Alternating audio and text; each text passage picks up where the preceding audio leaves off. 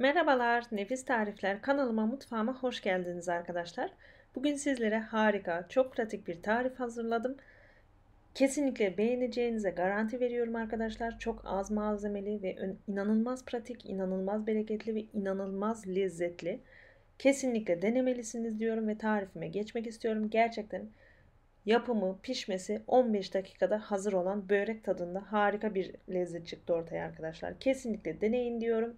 Gerçekten ısrarla istiyorum denemenizi ve geri dönüşlerinizi bekliyorum bu tarifimin üzerine. Şimdi gereken malzemeler 1 adet yumurta. Evet doğru duydunuz. 1 adet yumurtayla bir tepsi kadar bir tava kadar bir börek elde edeceğiz. 1 adet yumurta, 1 su bardağı un, 1 su bardağı süt, e, taze maydanoz ve taze soğan doğradım ben birkaç adet. 1 su bardağı kaşar peyniri, yarım paket kabartma tozu ve tuz. Kullanacağımız malzemeler bunlardan ibaret arkadaşlar. Kaşar peyniri yerine normal beyaz peynir de kullanabilirsiniz veya karışık peynirler de kullanabilirsiniz. Şimdi çırpma kabıma bir adet yumurtamı ve sütümü ilave ettim. Şimdi biraz bunları bir çırpıyorum. Ve bir çay kaşığı kadar tuz ilave ettim. Tabi peynirinizin tuzuna göre ilave edin tuz miktarını. Biraz böyle çırptıktan sonra ilk etapta bir su bardağı un ilave ettim. Ve yarım paket kabartma tozumu döktüm.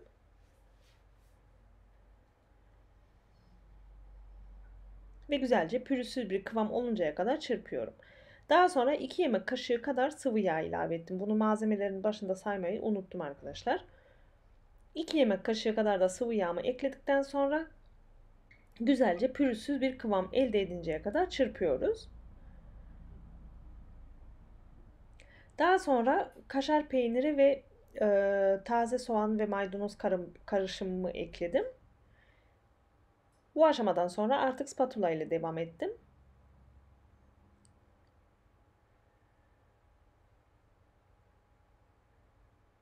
Dilerseniz dereotu vesaire de ekleyebilirsiniz. Yani çok yakışır. Spatula ile karıştırmaya başladım. Ve gözüme biraz e, fazla cıvık geldi arkadaşlar. Ee, sanırım benim yumurtam büyüktü. Büyük boydu yani. O yüzden azar azar toplamda 3 yemek kaşığı fazladan un ilave ettim.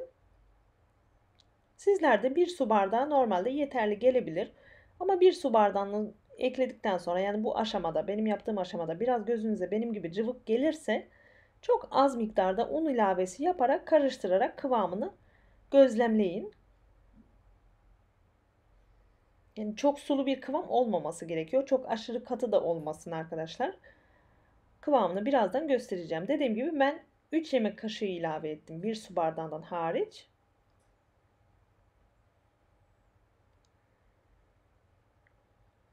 Her seferinde karıştırdım. Kıvamına baktım. Gerektikçe ilave ettim yani.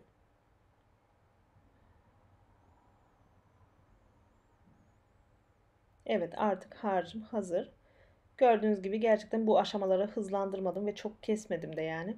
Toplamda 3 dakika kadar bir sürede hazırladık iç harcımızı.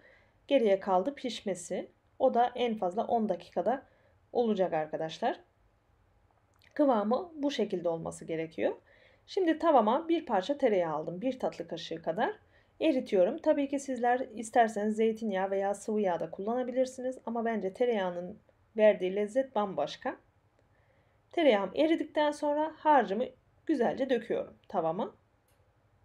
Kıvamı bu şekilde gördüğünüz gibi. Kesinlikle çok aşırı sulu değil. Ve spatula ile güzelce üzerini düzeltiyorum. Bu aşamada artık ta, e, ocağımın altını orta ateşe yani neredeyse kısık ateşe getirdim arkadaşlar. Kesinlikle böyle harlı ateşte pişmesin yoksa dışı yanar içi çiğ kalır. Gayet kısık ateşte pişmesi gerekiyor. Güzelce düzelttikten sonra e, deliksiz bir kapak kapatıyorum. Eğer delikli bir kapak kullanacaksanız o delik yani hava çıkan kısmını bir peçeteyle veya temiz küçük bir havluyla kapatın ki buharı içinde kalsın tavamızın. Bu pişirme yöntemi aslında püf noktası burada. Böyle piştiği için içi çiğ kalmayacak arkadaşlar. Size bu aşamada hızlandırılmış halini gösterdim. Gördüğünüz gibi buharı tavanın içinde kaldı. ve üzeri böyle hafif e, kuruduğunu görebiliyoruz kapağın altından bile olsa. Bu işlem yaklaşık bir 5 dakika kadar sürdü arkadaşlar. Tabi sizler için hızlandırdım. Şimdi 5 dakikanın sonunda açtım. Ve gördüğünüz gibi üzeri kurumuş. Hem elle elleyince fark ediliyor hem gözle de görülüyor bu aşamada. Şimdi ben bir tahta yardımıyla ters çevirdim. Tavamı tekrar hiç temizlemeden ocağa alıyorum ve tekrar bir tatlı kaşığı kadar tereyağı ekliyorum. Çünkü diğer yüzü de diğer tarafı da kızarması gerekiyor. Tereyağım eridikten sonra diğer tarafını ekliyorum. Ben küçük bir kaza atlattım bu aşamada ama hiç sorun değil. Toparladım. Ucunu biraz fazla hızlı e, koymak istedim açıkçası herhalde. Ama hiç sorun değil. Sadece küçük bir kenarı çatladı. Sizler daha dikkatli olun tabii ki. Ee, daha sonra tekrar kapağını kapatıyorum. Ve bu tarafı arkadaşlar diğer yüzüne göre biraz daha hızlı pişecektir. Yani 3-4 dakika arasında pişecektir. Daha sonra piştiğinden emin olduktan sonra tahtamın üzerine ters çeviriyorum.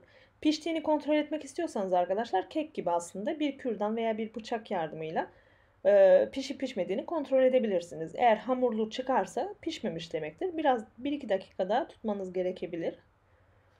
Evet bu şekilde böreğimiz hazır bile. Yani toplamda yapıp pişmesi 15 dakikanızı alan ve sadece sadece bir yumurta ve unla olan malzeme yani diğer malzemeler genelde he, yani aslında bütün bu malzemeler genelde her evde olan malzemeler.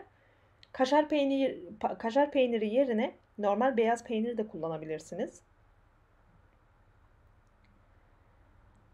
En az 6 kişilik bir tava böreği olmuş oluyor. Yani bir adet yumurtayla gördüğünüz gibi yumuşacık lezzetini anlatamam. Taze soğan çok yakışıyor. Kesinlikle ekleyin. Taze maydanoz ve e, taze soğanı.